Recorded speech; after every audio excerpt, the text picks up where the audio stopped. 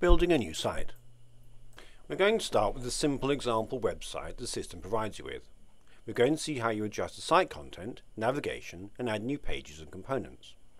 We start by selecting the Layout Manager from the floating toolbox menu. The Layout Manager will open in a new window or tab. This is the main management view of your site. On the right side is the site so far. The left column contains all the possible components. We're going to change the names of the placeholders into more useful titles.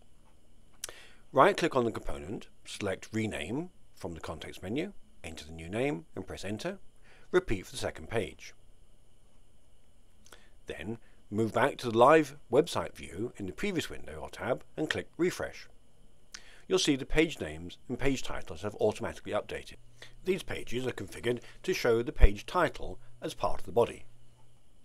Now we want to add a new page, so return to the Layout Manager and in the All Components column, select a page. Then give it a useful name, say Product, click the Add to Website button and drag it into place.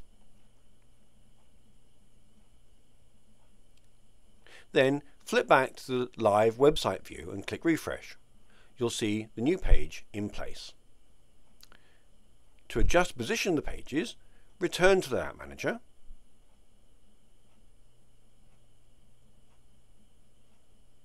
right-click on the page component and select Move, and put the component into its new place.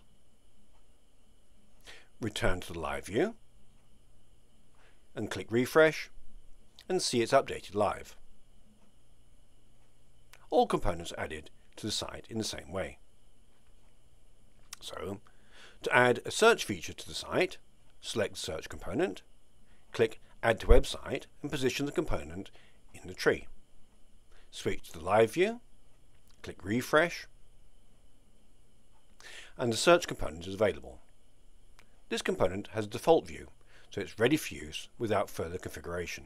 So that's how you adjust site content, navigation, and add new pages and components to your website.